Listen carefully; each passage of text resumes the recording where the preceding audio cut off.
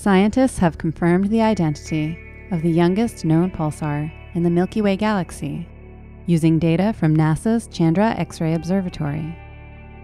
This result could provide astronomers new information about how some stars end their lives. After some massive stars run out of nuclear fuel, then collapse and explode as supernovas, they leave behind dense stellar nuggets called neutron stars.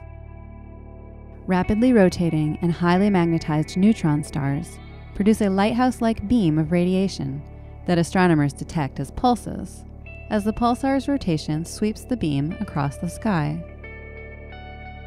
Since Jocelyn Bell Burnell, Anthony Hewish, and their colleagues first discovered pulsars through their radio emission in the 1960s, over 2,000 of these exotic objects have been identified.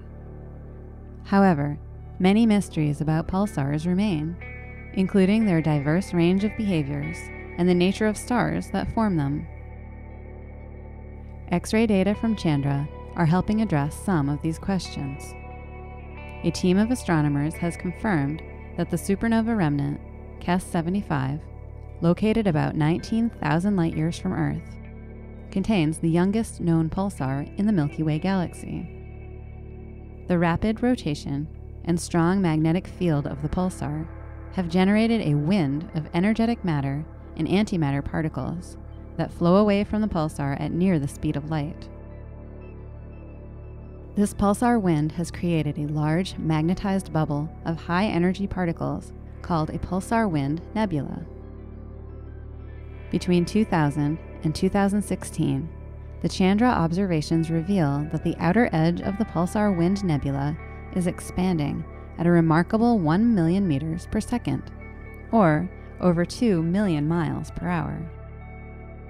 This high speed may be due to the pulsar wind nebula expanding into a relatively low density environment.